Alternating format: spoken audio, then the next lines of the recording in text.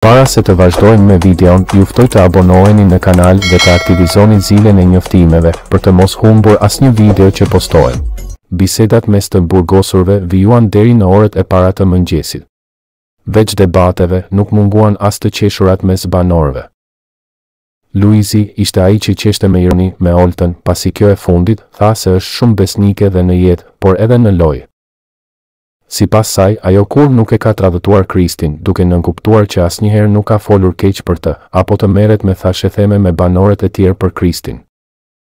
Kjo deklaratë e Oltës, shkriu së qeshuri Luizin, i cili i tha se ishte ajo që nxori Amosin nga shtëpia, ndërsa i tha Oltës se Kristi nuk i beson këto fjalë, pasi nuk është naiv, si Dea Mishel.